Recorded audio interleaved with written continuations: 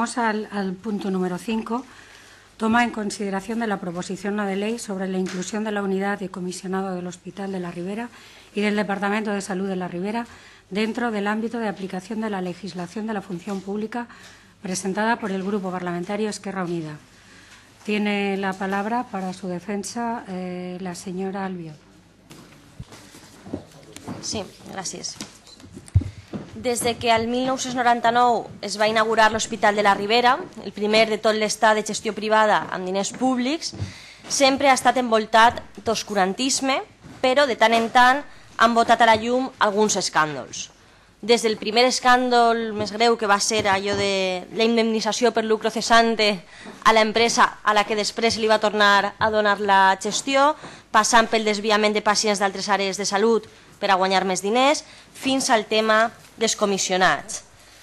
El tema dels comissionats ve, ve recollir la figura de la unitat de comissionat tant per a l'hospital eh, com per, al per a l'àrea de salut eh, ve replegat en el plec de condicions. La figura de la comissionada actua com a enllaç entre la conselleria i la UTE i l'empresa i el seu paper és vetllar per l'aplicació correcta de les clàusules de concessió.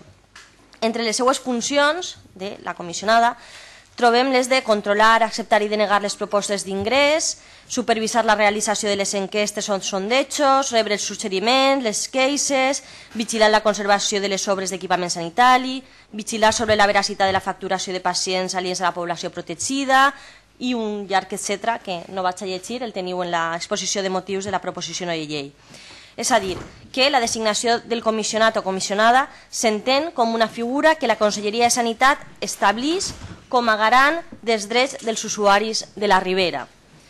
El doctor Manuel Marín Ferrer va exercir com a comissionat de Sanitat per al Departament de Salut número 11 des de gener de 2000 fins a setembre de 2007, moment en el que va ser nomenat director gerent de l'Hospital de la Ribera en un contínuum com a mínim curiós i de dubtosa moralitat, l'encarregat de controlar l'empresa per defensar els interessos de l'administració finalment acaba sent el gerent de l'empresa.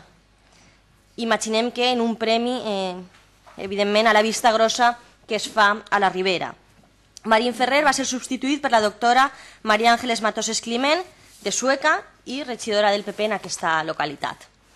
El nomenament i exercici com a comissionada per part de la doctora Matoses pensem que podria suposar un conflicte d'interessos manifest, ja que molts dels seus familiars directes es troben actualment ocupant càrrecs directius i de diversos llocs de treball tant en l'Hospital Universitari de la Ribera com en la resta de, de l'àrea. Així tenim que la seva germana, Maria Àngeles Matoses, ocupa un càrrec d'adjunta a la direcció de l'àrea d'infermeria de l'Hospital d'Arsira, la seva filla, el company, eh, gendres, cunyats, etc etc. no?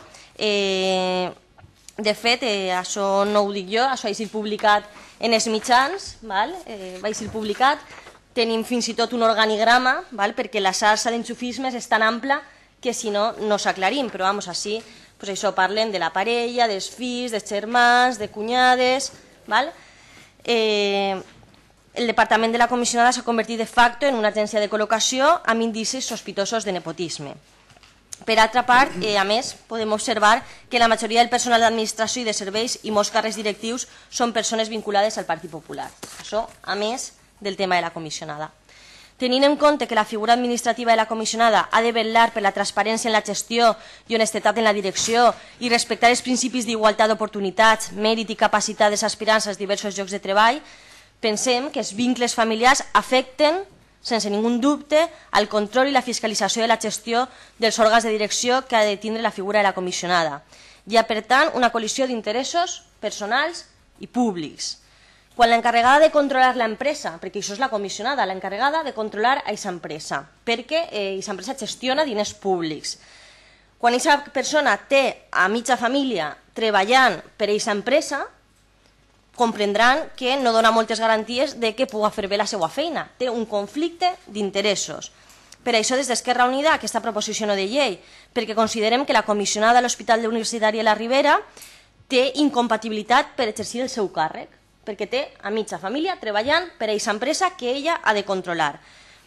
Eh, Per tant, considerem que té aquesta incompatibilitat, considerem que cal cessar-la perquè no garantís eh, amb tota la integritat el control i la fiscalització de la gestió sanitària a la Ribera i, eh, a més, instem a que es nomene un nou comissionat o comissionada que siga de consens, que siga consensuat en tots els grups polítics, que tenim representació a les Corts Valencianes i, evidentment, amb els actors socials i sindicals de la comarca de la Ribera.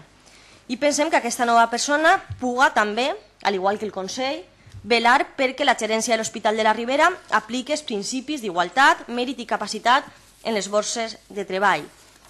La proposició de llei simplement és això. Nosaltres no diem si aquestes persones han de treballar o no han de treballar a l'Hospital de la Ribera o als centres de salut. Evidentment, poden treballar. Nosaltres el que estem dient no és això. El que estem dient és que aquesta senyora no pot ser comissionada perquè té un conflicte d'interessos i perquè té unes incompatibilitats al tindre a molta gent de la seva família treballant en l'empresa que ella ha de controlar. Gràcies. Muchísimas gracias, señora Albiol. Tiene la palabra la señora Oltra. Sí. Per anunciar el vot a favor a esta, a esta proposició de llei eh, i incideix novament en l'empresa Ribera Salut, que va ser l'empresa concessionària de la gestió en 1999, que la van tindre que rescatar, perquè allò del, del lucro cesante no va deixar de ser un rescat, eh?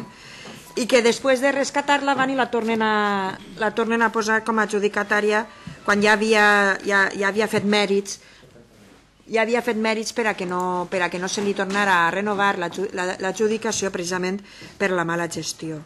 Eh, acompanyant d'això tenim un, un diguem, des dels 397.000 euros per càpita que cobraven de canona eh, en 2004 a ara un increment de més del 51%, perdó, més del 100% quan, eh, quan cobren pràcticament el doble. No?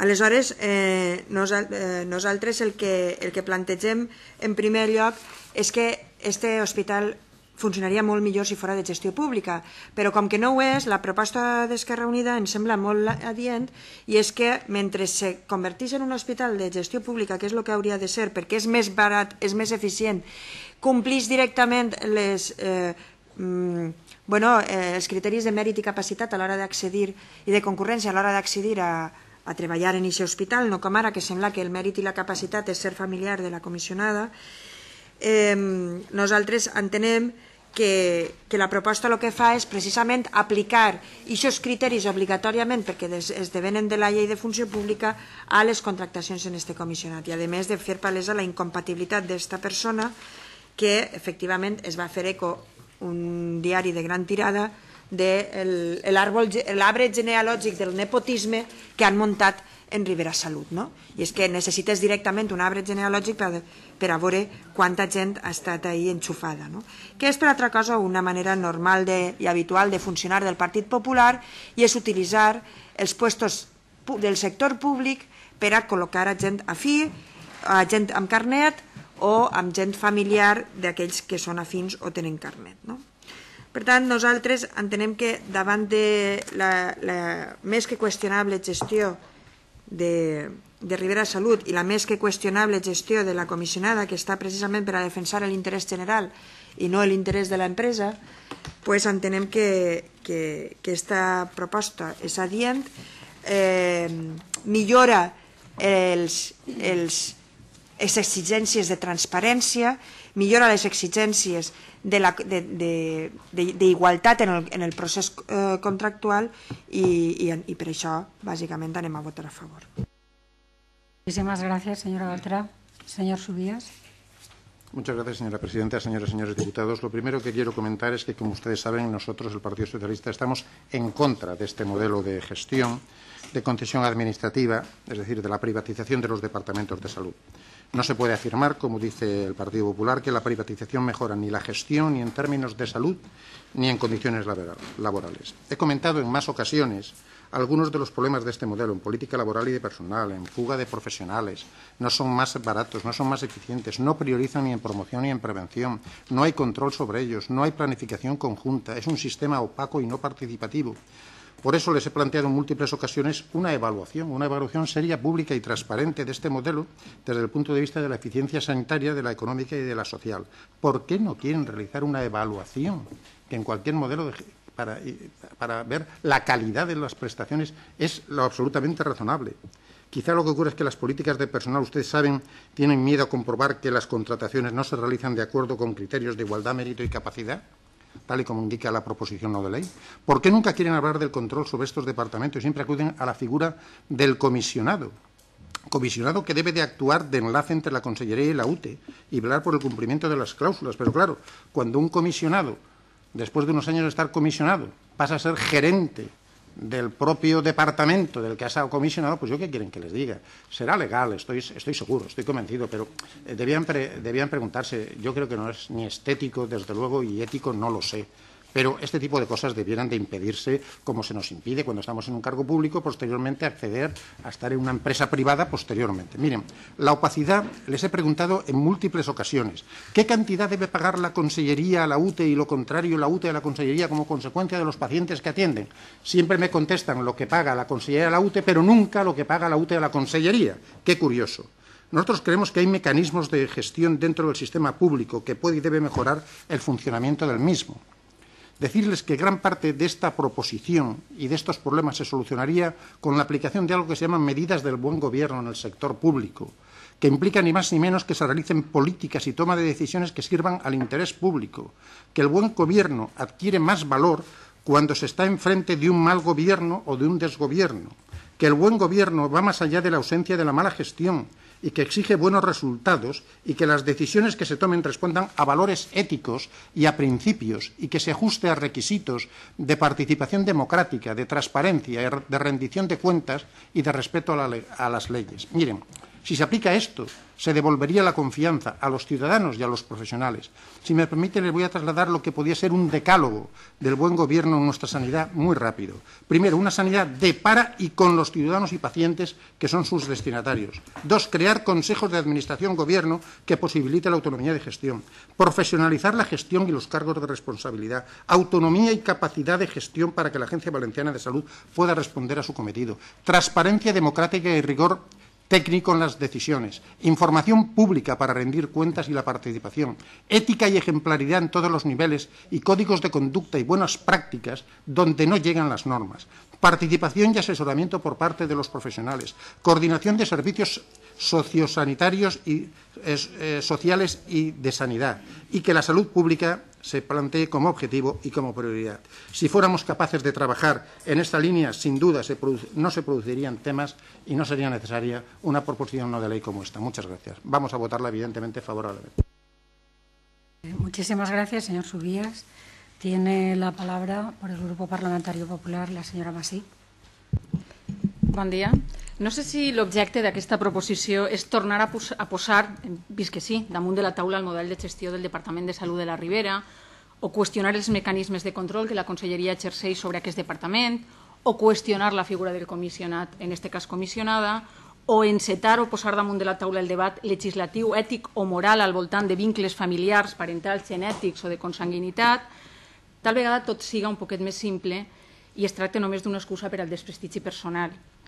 En el meu raonament aniré de lo general a lo particular. Lo general és si l'Agència Valenciana de Salut disposa de ferramentes adients per tal d'exercir un control del Departament de Salut de la Ribera no sols és que disposo amb la creació de la figura de la comissionada, la, la unitat de la comissionada o comissionat i la comissió mixta de control, sinó que al mateix temps que es va posar en marxa aquest model de concessió, es va crear la figura permanent del comissionat amb unes funcions clarament establertes, que no vaig a repetir perquè han sigut contades eh, tant en l'exposició de motius de la proposició com per tots vostès.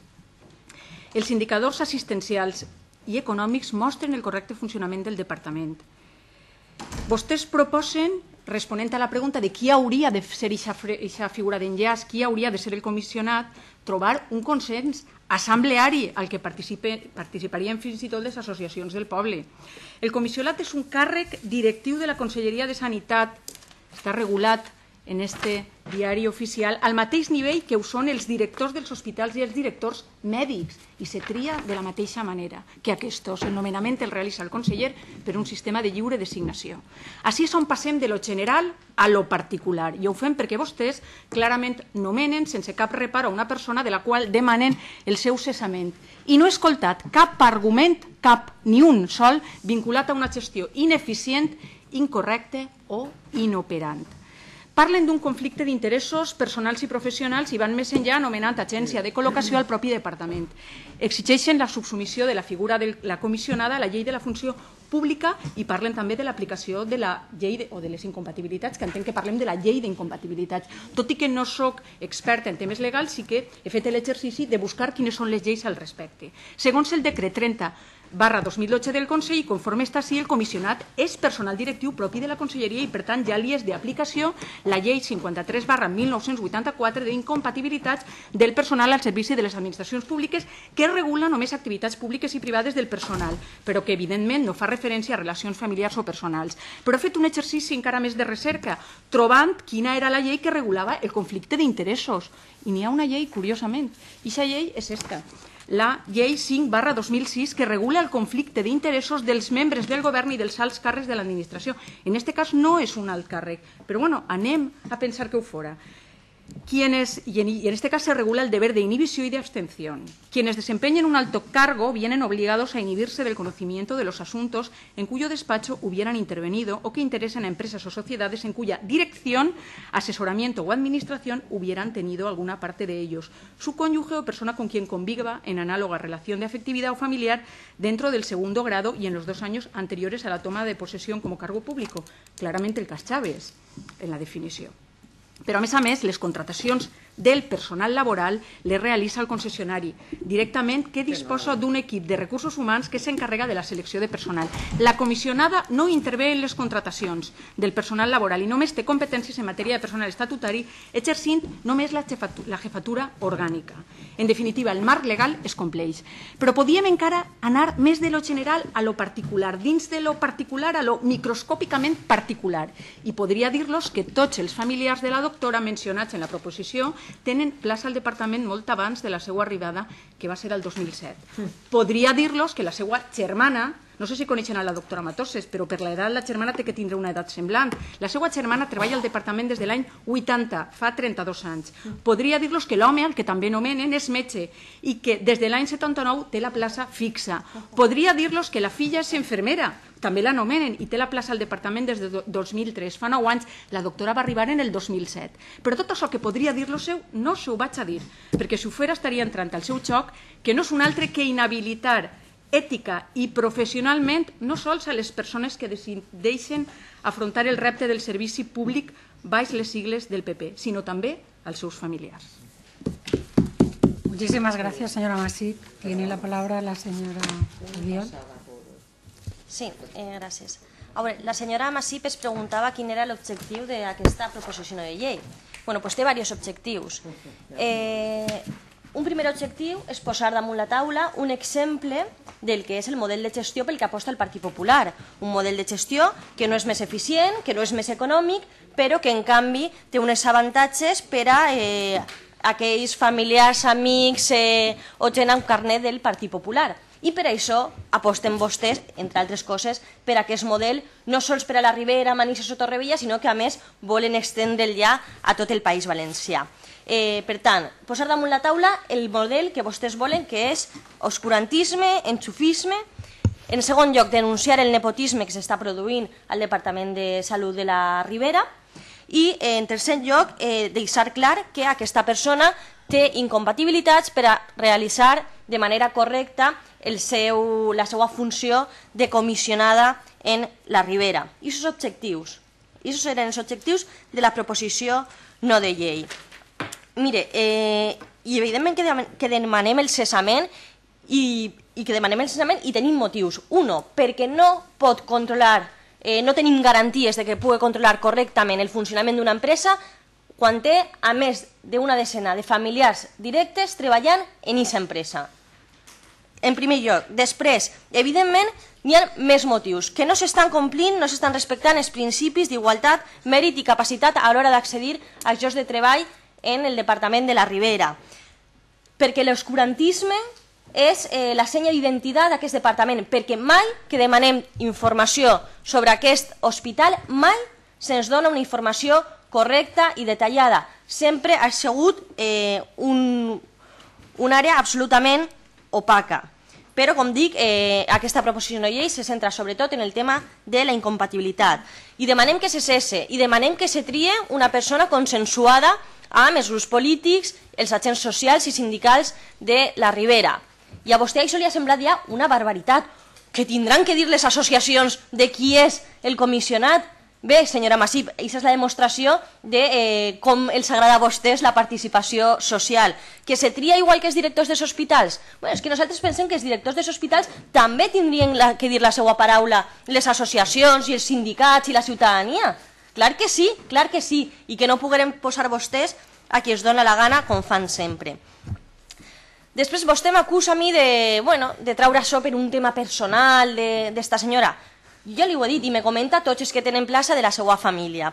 Mire, i és que li ho he dit abans, és que no n'hi ha cap problema en que aquestes persones, la germana, l'home, els fills, els gendres, treballen en l'Hospital de la Ribera. No n'hi ha absolutament ningú problema en això. Nosaltres el que diem és que si aquestes persones que són famílies seues treballen allí, ella no pot ser comissionada. Per tant, no s'estem clavant en que la seva família treballi allí, ni molt menys, cada un treballa on vol o on pot, i, algun, i molta gent, moltíssima gent no pot treballar, però bueno, això és una altra. Però nosaltres no estem parlant d'aquesta gent que està treballant, sinó de que mentre aquesta gent estigui treballant, ella no pot ser comissionada perquè n'hi ha un conflicte d'interessos. Res més, moltes gràcies. Ah, muchísimas gracias. Tiene la palabra la, la senyora Masip. En primer lloc, senyora Albiol, els familiars no s'ha nomenat jo, els ha nomenat vostè. Jo l'únic que he fet és recordar quina és la seva situació contractual. Com que el moviment es demostra caminant, ara que tenen vostès l'oportunitat d'influir en un govern en el que estan cooperant, trien els directors d'hospital d'aquesta manera. Els de més ensenyarem. Serem una assemblea en el poble per a triar el director d'un hospital i els de més anirem a veure què bé funciona això. En qualsevol cas, el debat està obert. Ara, li, li pregue, per favor, que em dice... Jo no la, no la, crec que no l'he interrompit a vostè. Eh? El debat està obert i, si vostè vol, creen una normativa, una normativa que haurà de contemplar tots els supostos. Si una persona, evidentment, tindria que ser del PP, perquè si no, no parlem, treballa o ocupa un càrrec a un lloc, estan inhabilitats o impossibilitats per a treballar en aquest lloc els seus familiars, però quins? En la llei hauria d'estar regulat en la normativa. Els de primer grau, pares, cònjuges, fills, de segon grau, tercer grau, fins a quin grau de puresa de la sang arribem evidentment de puresa de la sang del PP, que no estiguin contaminats. Consanguinitat o afinitat, també haurem de definir-ho. Poden treballar cunyats o sogres i què fem si treballaven abans, com és el cas, estirem a tots. Estirem, es despedim allí el dia que arribi. Amb totes aquestes idees es proposa una nova llei que generaria, ja ho crec, un interessant debat al plenari. Mentrestant, ens quedem en les que n'hi ha, que són les que he nomenat, i s'acomplixen totes. Per tancar el raonament, i com que continua la meva idea inicial de que l'objectiu d'aquesta proposició no és en absolut aportar idees constructives per a un millor funcionament d'un model assistencial en el que vostès, evidentment, ja ha quedat eh, palès, no creuen, sinó desprestigiar-lo des de tots els fronts possibles, arribant a distorsionar la realitat, com hem vist, crec que encara podríem aportar alguna cosa més. I per això he demanat que me digueren en el concessionari com se realitza la selecció de personal. Ens parlen d'avaluació de competències del candidat realitzada per un mando intermedi, avaluació de competències del candidat realitzada des de l'àrea de recursos humans, avaluació del perfil del candidat en relació al perfil requerit per al lloc de treball, entrevista de selecció, proves psicotècniques de perfil, perquè allí és que, treballen, és que no són tots del PP, eh? No, no. I els del PP tenen a treballar, també allí, evidentment, o és que uns del PP el deixem sense treballar. Per a l'anàlisi i elecció del candidat es constitueix una mesa de contratació. La veritat és que a mi em sembla un procés molt llarg, Tal vegada no siga necessari tant, no faig falta tant, perquè en capacitació o capacitat i professionalitat, i com diu el senyor Valderas, el de les tetes gordes, este és el de les tetes gordes, eh, basta en la majoria d'edat. I això són els criteris que fan servir vostès on governen. I conforme diu el portaveu parlamentari d'Esquerra Unida, i ho diu així, en el país és indistint que siguen hijos, primos, cuñados o hermanos de hay que atender a criterios técnicos. Pues això fem nosaltres, a criterios técnicos. Podíem acudir al clàssic la viga en el ojo ajeno, però preferís deixar-ho de costat. No siga que algú, algun metge porta un urbasón en el bolso, no siga que algú li una urticària i li tinguin que punxar un urbasón per la referència bíblica. Però a, acudiré al popular i probablement políticament incorrecte qui t'ha fet i forat, li diu el mort al degollat. I això significa que sempre parla el que més té que callar. Bien. Más gracias, señora Masip. Terminado el debate, pasamos a la votación. ¿Votos a favor de esta proposición no de ley? Siete. ¿Votos en contra? Ocho. por siete votos a favor y ocho en contra, queda rechazada. Pasamos al punto